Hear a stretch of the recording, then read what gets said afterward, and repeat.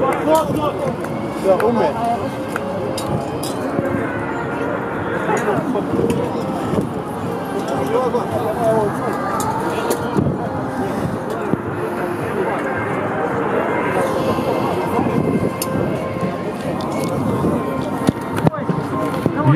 Что боец получил травму.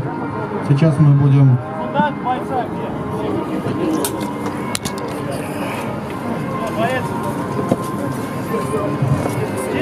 Иннокентий. Иннокентий Шилов получает травму и в этом поединке чистую победу одерживает Айдар Кадыров.